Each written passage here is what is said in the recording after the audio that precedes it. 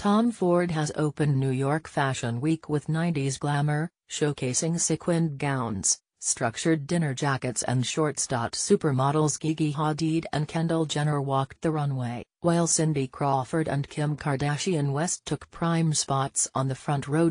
Ford is credited with resurrecting Gucci and making a success of Yves Saint Laurent. He also directed last year's Oscar-nominated Nocturnal Animals.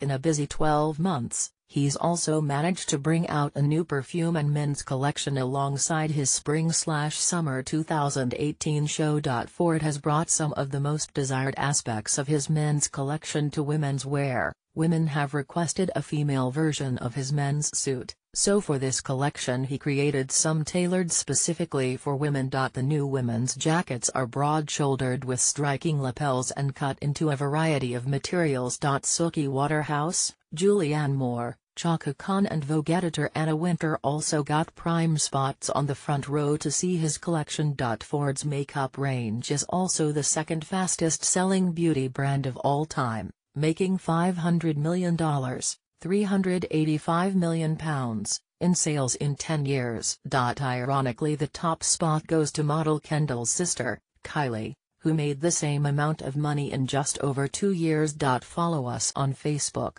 on Twitter at BBCNewsEnts, or on Instagram at BBCNewsEnts. If you have a story suggestion email entertainment.news at bbc.co.uk.